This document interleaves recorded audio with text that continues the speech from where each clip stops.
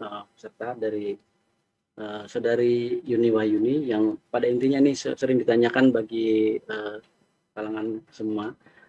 Jadi orang tuanya jadi enam bulan yang lalu meninggal karena COVID. Apakah ini uh, setara dengan jihad? Kemudian apakah sodako anak-anaknya bisa membawa orang tua yang sudah meninggal untuk meraih surganya? Terima kasih Ustaz. Barakallahu fikum. Nah, mahibati fillah. Orang yang meninggal karena COVID-19. Apakah masuk orang yang mati syahid? Ya, kalau bicara orang yang mati syahid. Jadi hukum syahid ini ada syahid dunia, ada syahid akhirat. Syahid dunia itu tidak dimandikan. Syahid dunia ya dikuburkan dengan darah-darah yang ada di tubuhnya. Tapi syahid akhirat artinya orang ini hukumnya seperti atau dia akan mendapatkan pahala orang yang mati syahid. Itu ya tetap perlakuannya seperti biasa. Dia dimandikan, disolatin, kemudian dimakamkan dengan dikafanin. Dengan yang biasa kita ketahui. Taib. Bagi orang-orang yang dapat pahala syahid ini banyak sebenarnya. Nabi SAW menyebutkan berbagai macam jenis kematian orang yang mati umpamanya sakit perut, mati tenggelam, mati ketika melahirkan, mati tertimpa sesuatu, itu disebut sama Nabi SAW syahid. Eh dia dapat pahala orang yang mati syahid. Tapi juga kembali kepada kondisi orang tersebut. Ada orang mati tenggelam nggak pernah sholat. Nggak pernah sholat. Mau dikatakan dia syahid? Ya enggak. Ada orang mati karena COVID-19 tapi dia nggak bersabar. Bahkan ketika meninggal dia sudah meninggalkan sholat. Berhenti dia beribadah kepada Allah. Jadi ini urusan syahid akhirat yang hanya Allah yang tahu. Tapi kita melihat orang itu, orang yang soleh, orang yang sabar. Kita lihat orang tua, Alhamdulillah orang tua Anusa tetap sholat, tetap mengingat Allah dalam kondisi itu. Kemudian dia meninggal dunia, kita berharap bahwa dia meninggal husnul khatimah dan mendapatkan pahala syahid yang Allah janjikan mati hari Jumat.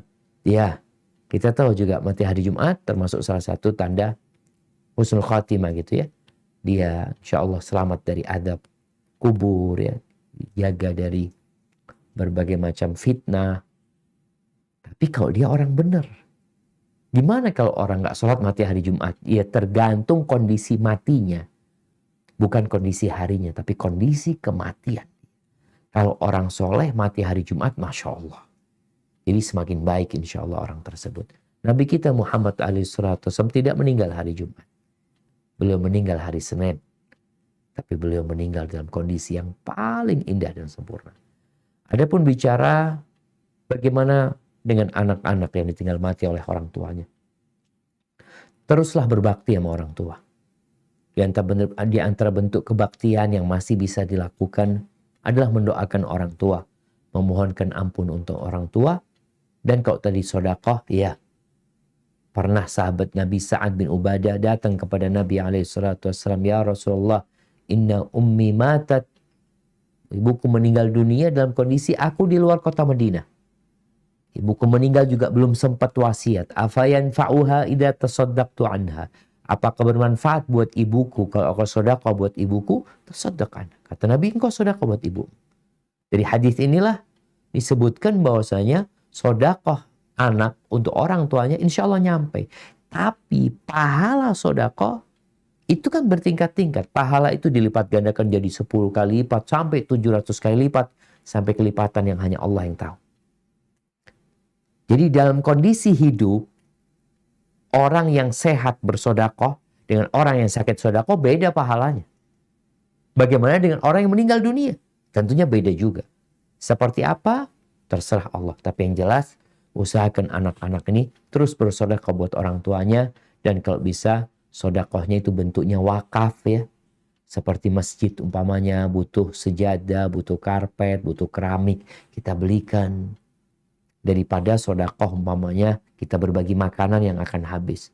Tapi kok kondisi Ustaz masjidnya bagus Alhamdulillah Ustaz. Nih orang-orang dalam kesusahan yang pada isoman. Ah mungkin itu akan lebih baik kita berikan kepada orang-orang yang sedang isoman.